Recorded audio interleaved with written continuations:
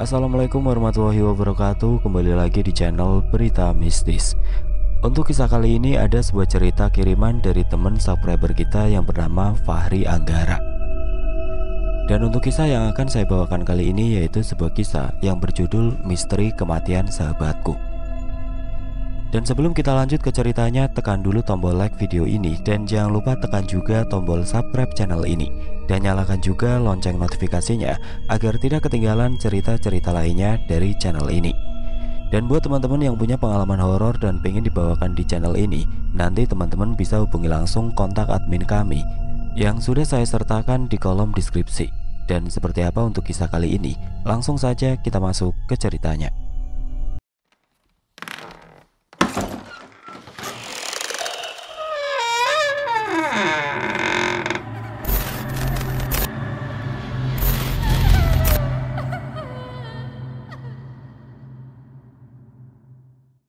Suara deru motor yang keluar dari knalpot motor yang aku kendarai bersama temanku Rizal membuat beberapa pasang mata pengendara lain memperhatikan kami dengan wajah masam.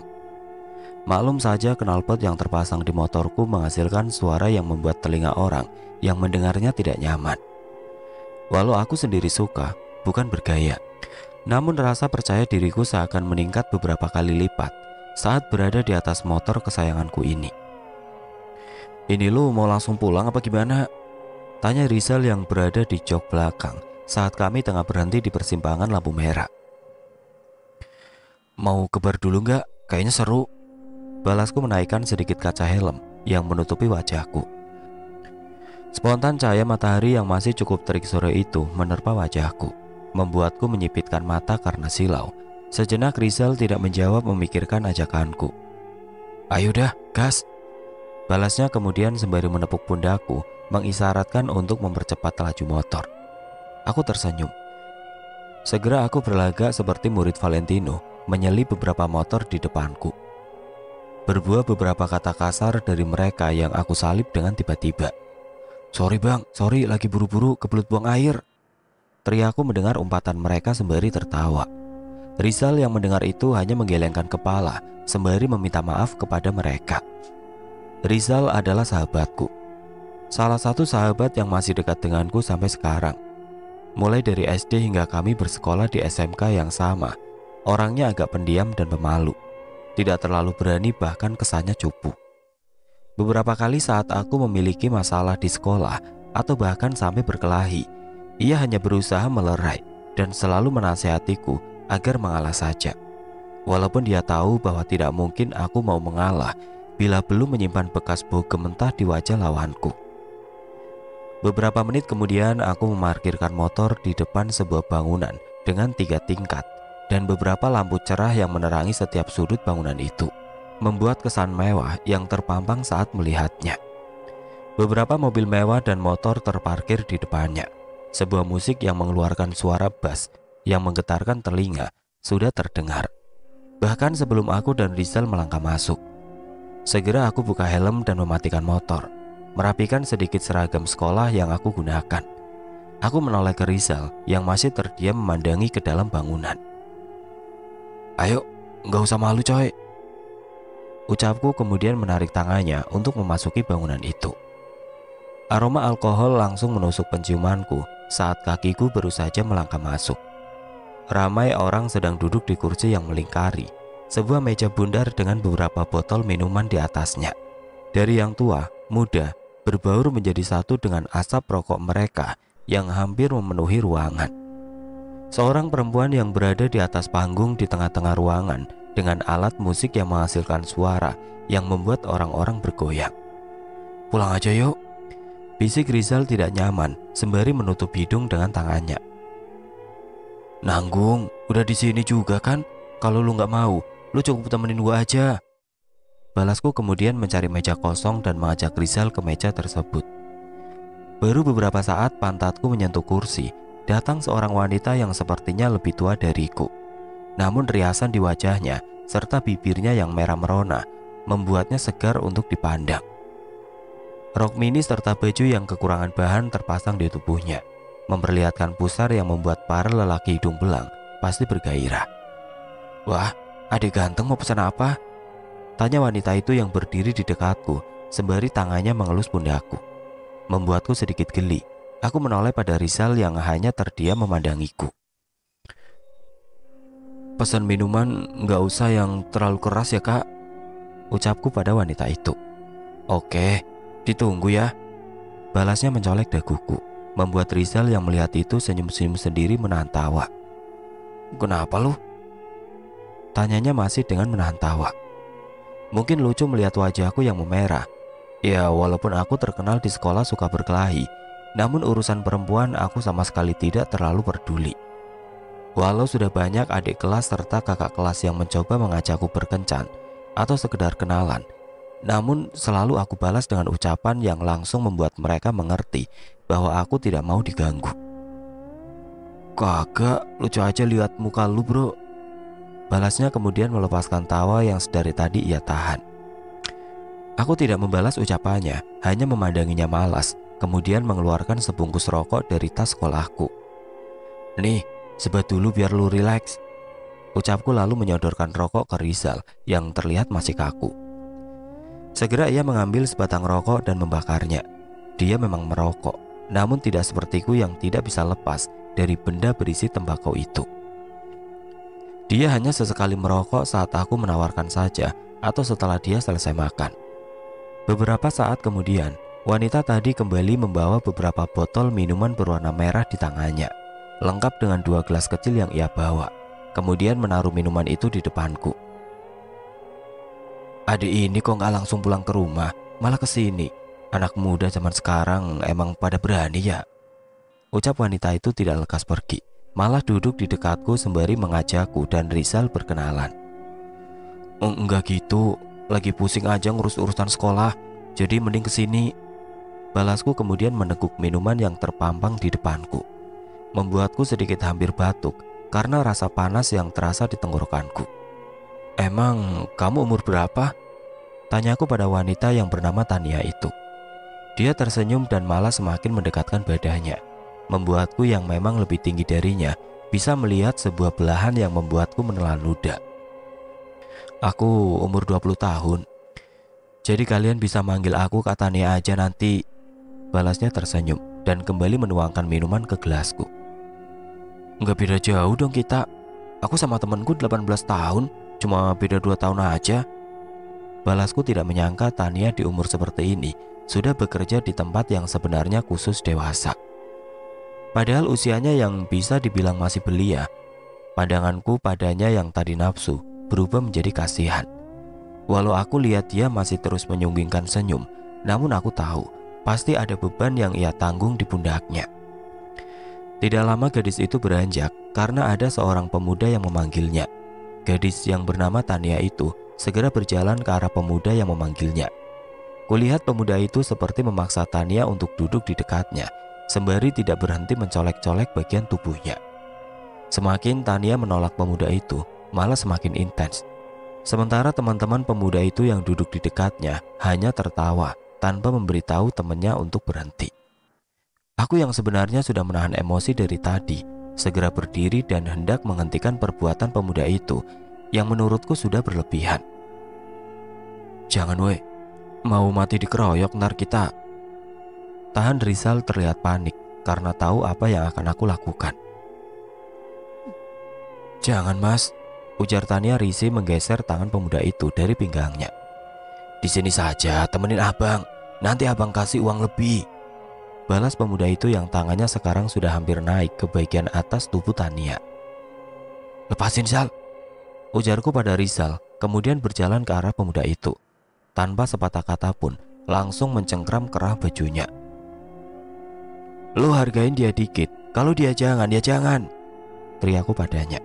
Pemuda itu dan teman-temannya terlihat kaget. Tapi setelah melihat pakaian yang aku gunakan, mereka tertawa seakan meremehkan. Bocah sekolah nggak usah sok jago dek Pulang sana ntar dipukul nangis Balasnya berusaha melepas genggaman tanganku dari bajunya Temannya yang tidak terima hendak melayangkan pukulan pada aku Namun aku mengelak dan balik mendaratkan tinju di wajahnya Membuatnya terhempas ke belakang Dua orang temannya yang lain pun ikut hendak memukulku Namun sebuah gelas kecil di atas meja Aku lemparkan ke wajahnya Membuatnya mundur Seketika suasana di kafe itu berubah riuh. Orang-orang hanya memperhatikan kami. Tania dan Rizal pun tidak kuasa menahanku. Walau badanku tidak terlalu besar, namun kalau soal tenaga bisa diadu. Setelah berhasil membuat ketiga teman pemuda tersebut tidak sanggup berdiri lagi, segera aku menghampiri pemuda kurang ajar itu. Terlihat dia sedikit gentar dan hanya berdiri diam di pojokan kursi.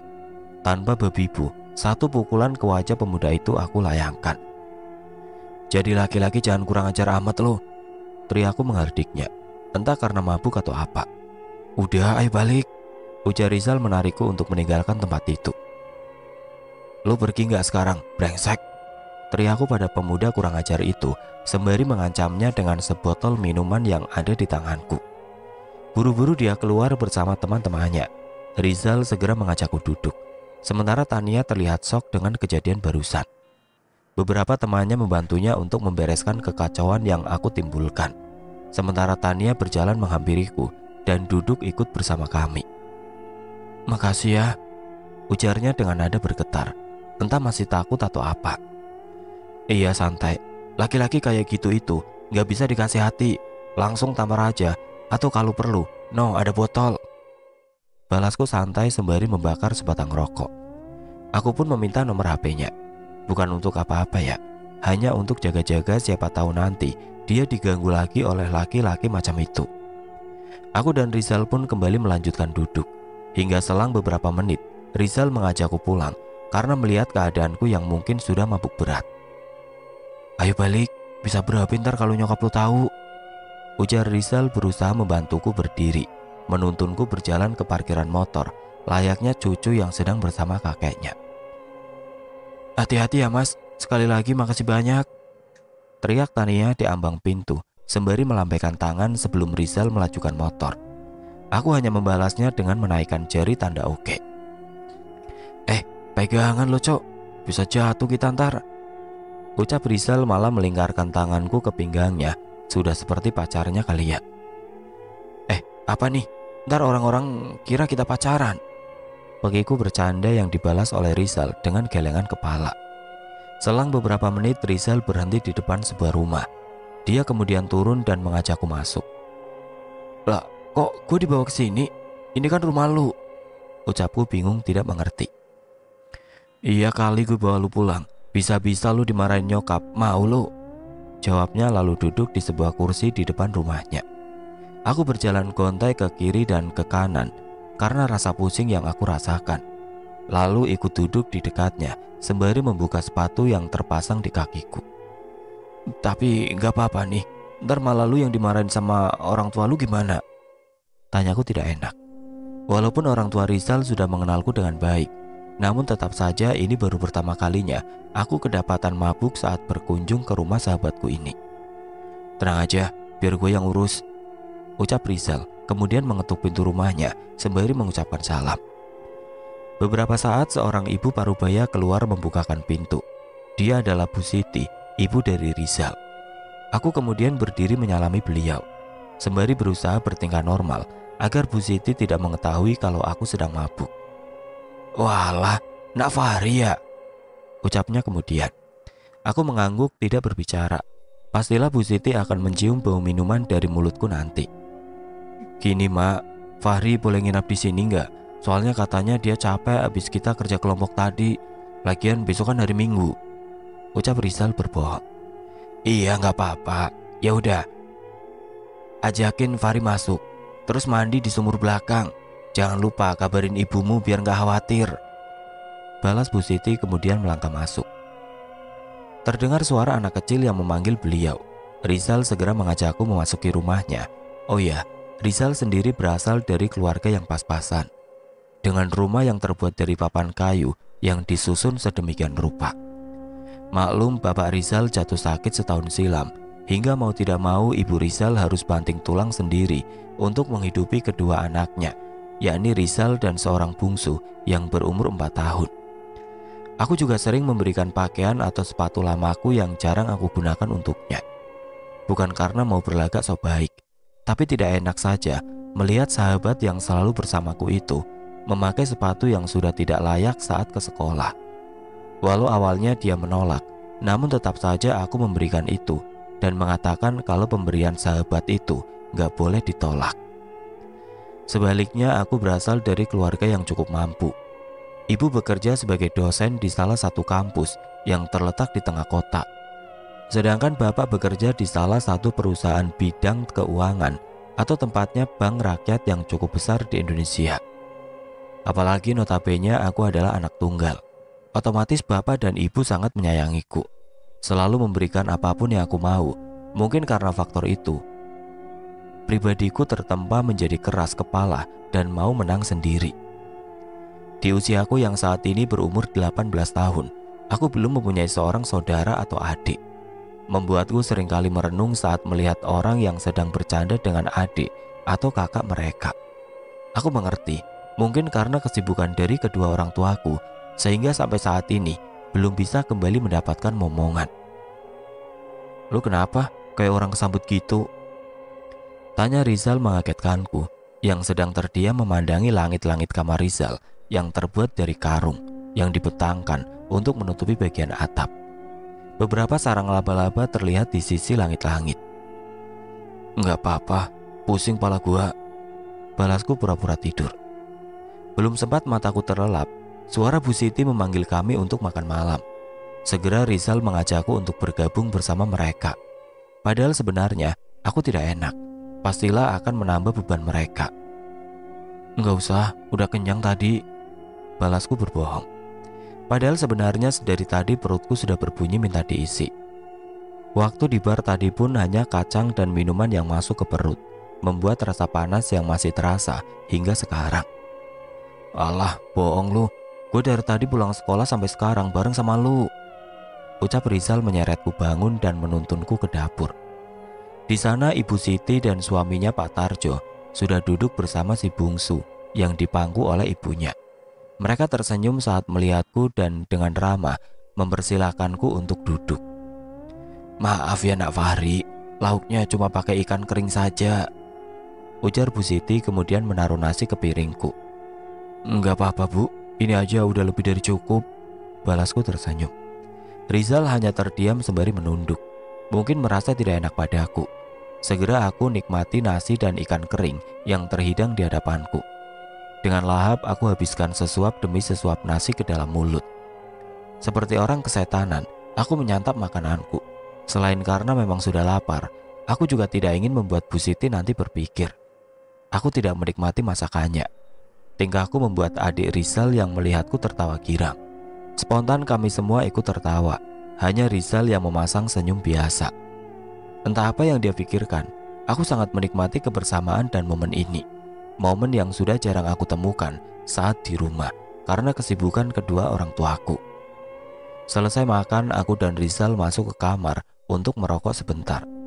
Tidak enak rasanya bila merokok di depan orang tua Rizal, apalagi ada adiknya yang masih kecil.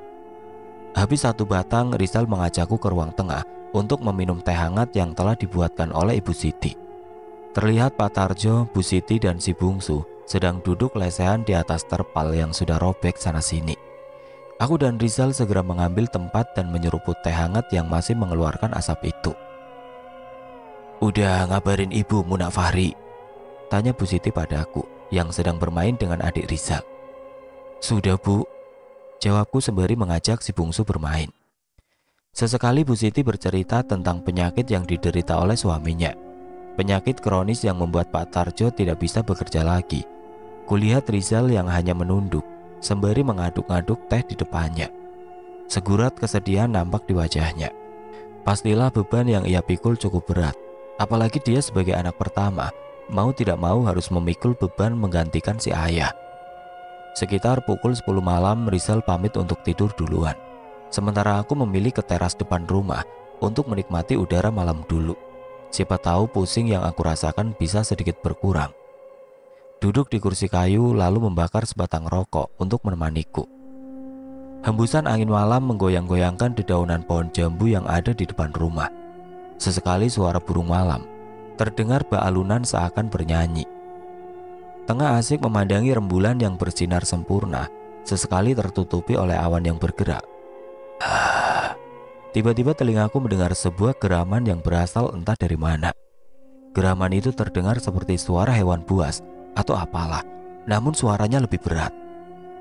Aku terdiam, kemudian memasang pendengaran sebaik mungkin untuk mencari asal suara itu.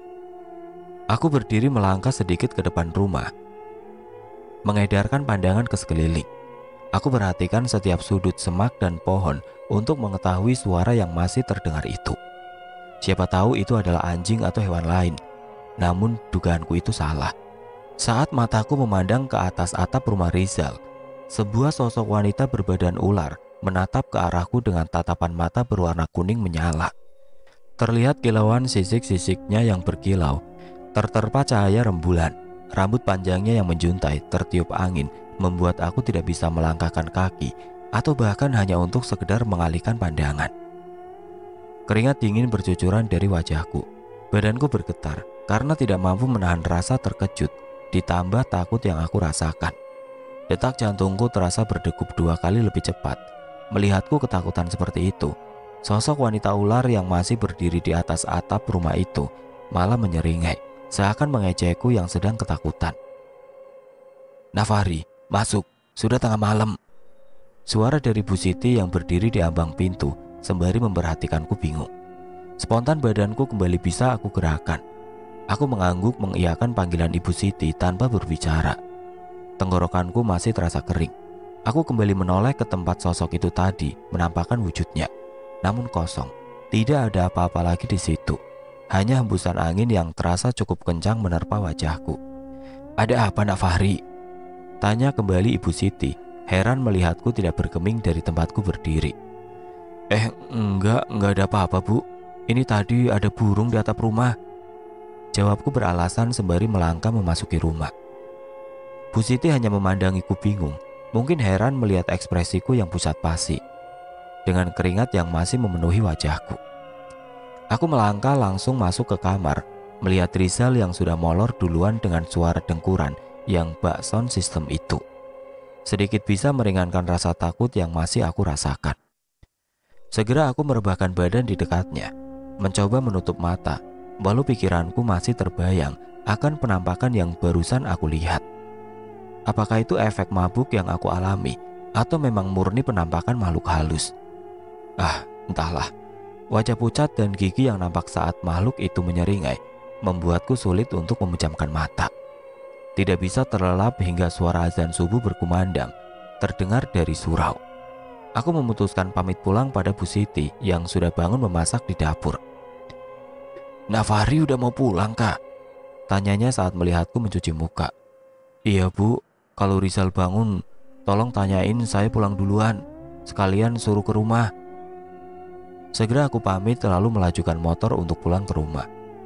Oh ya, aku dan Rizal tinggal di dusun yang berbeda, namun masih dalam kecamatan yang sama, walau jaraknya cukup jauh. Woi, bangun lo. Suara lelaki terdengar di pendengaranku saat aku sedang enak-enaknya tidur.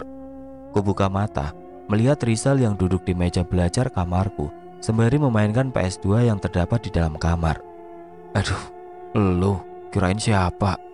Balasku beranjak bangun sembari menguap. Kulihat jam yang tertempel di dinding. Sudah sore ternyata. Segera aku menuju kamar mandi untuk membersihkan badan. Lu nyuruh gua ke sini buat apaan sih? Tanya Rizal saat aku sedang mencari-cari pakaianku di lemari baju. Temenin gua buat beli sepatu yuk. Sepatu gua udah minta ganti. Jawabku tanpa berpaling. Rizal hanya terdiam tanpa membalas ucapanku mungkin fokus bermain PS. Setelah menyelesaikan memilih baju, aku mengajak Rizal untuk ke dapur dulu untuk makan. Gak usah deh, udah kenyang gue. Jawabnya tidak enak. Padahal sudah beberapa kali dia makan di sini saat main ke rumah. Tetap saja dia orangnya gak enakan. Gak apa-apa, makan saja temenin Fahri. Celetuk ibu yang sedang membuat kue. Selesai kami makan, segera aku pamit pada ibu. Sepeda gue gimana? Tanya Rizal saat aku menyuruhnya naik ke motor. Udah biar aja di situ. Ada Mang Adik kok yang jagain tuh. Jawabku menunjuk tukang kebun bernama Mang Adik. Sekitar satu jam perjalanan kami sampai di sebuah toko sepatu dan sendal yang cukup besar di kota. Aku dan Rizal turun kemudian melangkah masuk ke dalam toko. Sesaat memilih-milih sepatu yang aku suka, Rizal yang mengikutiku hanya celingak-celinguk memandangi jajaran sepatu yang tertata rapi di rak toko itu. Sesekali mengecek beberapa sepatu yang mungkin menarik perhatiannya. Nih, lu coba. Ucapku menyodorkan sebuah sepatu catch berwarna abu-abu bercampur bis hitam. Lah, ngapain? Kan ukuran kaki kita beda. Tanyanya bingung. Udah, lu coba aja dulu. Dengan patuh dia kemudian melepas sendal jepit berwarna biru yang ia gunakan, lalu mencoba memasangkan sepatu tersebut di kakinya. Gimana? Pas nggak? Hmm, jawab Rizal masih memandangi sepatu yang terpasang di kakinya. Itu buat lu. Ujarku kemudian kembali berjalan memilih sepatu untukku sendiri. Eh, nggak usah. Sepatu yang lu kasih kemarin aja masih bagus. Lagian ini mahal banget. Ujar Rizal menolak, namun tidak aku gubris. Gua nggak enak, nyusahin lu mulu. Ujarnya masih menolak pemberianku sembari menunduk. Udah, kalau lu anggap gua sahabat lu, ya terima aja itu. Balasku membuatnya berhenti protes. Aku tahu dia pasti tidak mau menyusahkanku.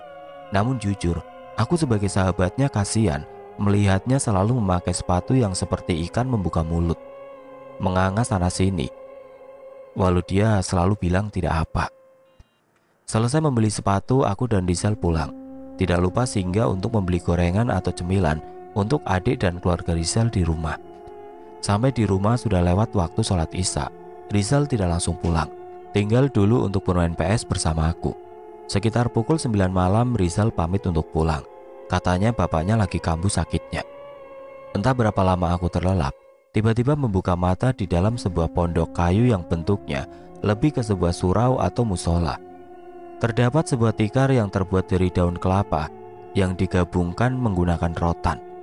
Digunakan sebagai tikar atau alas, sedangkan sebuah lampu minyak tertempel di sekitar dinding surau yang terbuat dari anyaman bambu. Membuat cahayanya temaram di dalam ruangan di mana aku berada. Dan sebuah Al-Quran tua di depanku.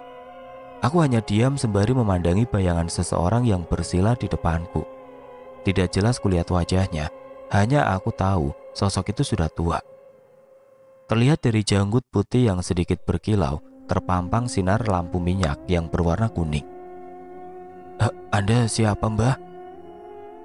Kelak kau juga akan tahu, Cuk. Hanya saja sekarang belum waktunya. Jawabnya dengan suara pelan penuh kebijaksanaan. Ya, selalu itu jawaban dari sosok tersebut setiap kali aku bertanya. Di situ aku terdiam sembari mendengarkan sosok tersebut membaca ayat-ayat suci Al-Quran dengan husu. Beberapa saat setelah sosok tersebut menutup Al-Quran di depannya, aku kembali terbangun. Mimpi itu lagi. Gumamku kemudian beranjak untuk mengambil air minum. Walaupun mimpi itu terasa cepat, namun entah kenapa saat aku tersadar, tenggorokanku selalu terasa kering. Dan selalu pas saat terdengar azan subuh di masjid muncul rasa di hatiku untuk melakukan sholat. Aku melangkah ke kamar mandi untuk mengambil air wudhu. Walau aku jarang menunaikan sholat, namun untuk tata cara sholat, untung saja aku masih ingat dan paham. Segera aku menunaikan sholat di kamarku dan tidak tidur lagi karena hari ini aku harus buru-buru ke sekolah untuk melakukan upacara. Seperti biasa sebelum aku ke sekolah, terlebih dahulu singgah di rumah Rizal untuk barengan berangkat. Terlihat dia sudah siap-siap di depan rumahnya menggunakan sepatu yang kami beli kemarin. Buru, udah setengah tujuh. Ucapku tidak turun dari atas motor. Rizal segera berlari menuju ke arahku dan langsung naik ke jok belakang. Gimana keadaan bapak lu? Tanyaku saat kami sedang berjalan di parkiran sekolah. Ya gitulah, malah tambah parah. Balasnya melangkah gontai mendahuluiku dengan wajah murung tertunduk. Yang sabar bro, Gak mungkin Tuhan nguji lu kalau nggak ada tujuannya. Ucapku menepuk-nepuk pundaknya, mencoba menguatkan sahabatku ini. Rizal menoleh dan tersenyum. Entah kenapa sikap Rizal hari ini sedikit berbeda. Ia kebanyakan murung dan seperti memikirkan sesuatu. Padahal biasanya bila sudah berjalan denganku di sekolah, pasti ada saja kehebohan yang terjadi. Entah itu aku yang bertengkar dengan anak kelas lain atau apalah. Lu mikirin apaan sih? Cerita sama gua. Ujarku pada Rizal saat kami sedang meminum es teh di kantin sekolah. Ah, enggak ada kok. Balasnya tidak mau bercerita. Sudahlah, aku juga tidak mau terlalu memaksanya untuk bercerita. Lagian pastilah ada alasan kenapa dia tidak mau bercerita padaku. Sepulang sekolah, aku memutuskan untuk ke rumah Rizal dulu, sekedar melihat keadaan Pak Tarjo. Lah, lu ngapain tinggal? Tanya Rizal melihatku turun dari motor dan melangkah mengikutinya, duduk di kursi kayu depan rumahnya. Ya elah kenapa sih? Teman sendiri diusir. Jawabku melepas sepatu yang aku kenakan. Bapak lu gimana keadaannya? Tanyaku membakar sebatang rokok yang aku keluarkan dari dalam tas sekolah. Ya gitulah. Jawabnya ikut duduk di dekatku. Tidak lama berselang terlihat Ibu Siti berjalan dari kejauhan diikuti adik Rizal di belakangnya. Mungkin baru pulang dari sawah. Terlihat dari topi camping yang terpasang di atas kepala Bu Siti, serta sabit di tangan kanannya. Eh, Nafari, masuk dulu, Ki. Ucap Bu Siti yang mencuci kakinya di tong air yang ada di depan rumah. Iya bu, ini cuma mau ngelihat keadaan Pak Tarjo. Ya udah masuk nak. Kini rumah berantakan, abisnya ibu belum sempat beres-beres. Ujar Bu Siti lalu melangkah ke dapur. Sementara Rizal masuk ke kamarnya, lalu keluar setelah selesai mengganti pakaian. Aku menemani adik dari Rizal bermain di ruang tamu. Beberapa saat Bu Siti keluar membawa segelas kopi di tangannya. Ini nak, diminum dulu. Ujarnya meletakkan kopi dan ubi goreng di hadapanku. Emang Pak Tarjo sakit apa bu? Tanyaku saat semua sudah duduk di ruang tamu. Dari kemarin bapak nggak bisa bangun. Habis itu muntah darah. Jawab Rizal menunduk. Udah dibawa ke rumah sakit? Belum nak, ibu belum kekumpul uangnya. Jawab Bu Siti berusaha tegar mengucapkan kalimat itu. Nanti biar saya coba bantu bu Ujarku lalu meminta melihat keadaan Pak Tarjo di dalam kamarnya Astagfirullah Ucapku spontan melihat keadaan Pak Tarjo yang terbaring di atas kasur kapuk Wajah keriput dengan tulang pipinya yang terlihat menonjol Wajahnya terlihat pucat Padahal kemarin saat aku ke sini Beliau masih bisa dibilang belum separah ini Assalamualaikum pak Ucapku menghampiri Pak Tarjo yang dengan susah payah berusaha duduk menjawab salamku. Udah nggak apa-apa pak, bapak rebahan saja. Ujarku menyuruhnya untuk kembali merebahkan badan saja. Gimana keadaan bapak? Tanyaku pada Pak Tarjo. Pak Tarjo tidak menjawab, hanya memegangi dadanya sembari terbatuk. Namun tiba-tiba, sebuah batuk yang mengeluarkan cairan merah di mulutnya membuat aku dan Rizal serta ibu yang melihat itu panik. Bu Siti segera berlari ke dapur kemudian kembali membawa segelas air berisi daun. Entah daun apa itu. Sementara Rizal berusaha membantu bapaknya untuk duduk. Dengan wajah khawatir, Rizal mengelus-ngelus dada bapaknya itu. Tahan pak, Rizal bakal berusaha buat nyembuhin bapak. Ujar Rizal dengan raut wajah menahan tangis.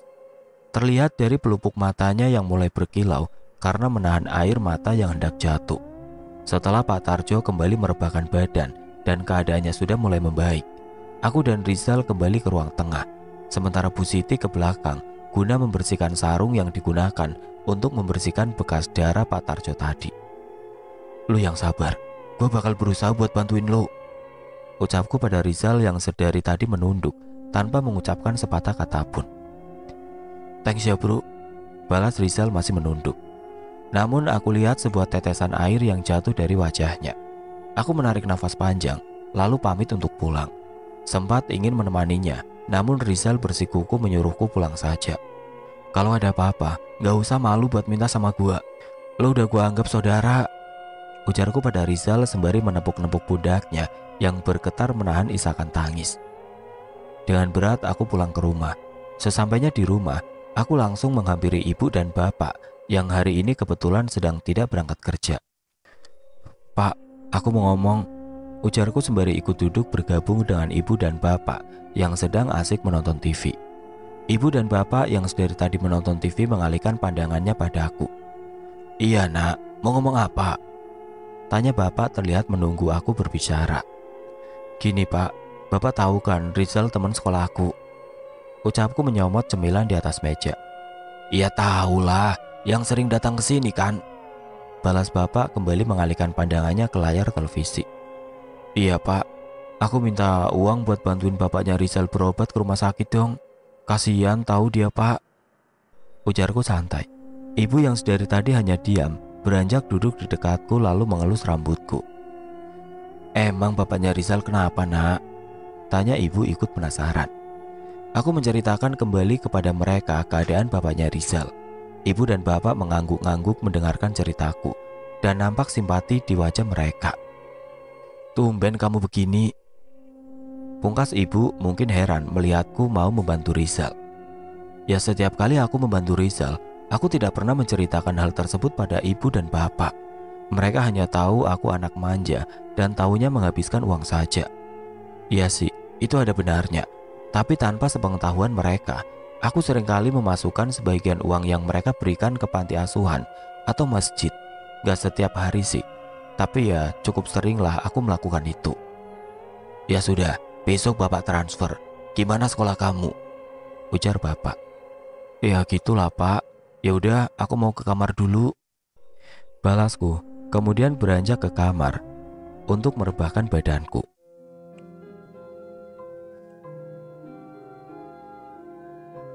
Oke teman-teman sampai di sini dulu ceritanya. Nantikan kelanjutan kisah ini di video berikutnya. Agar tidak ketinggalan, klik tombol subscribe channel ini dan nyalakan lonceng notifikasinya. Wassalamualaikum warahmatullahi wabarakatuh.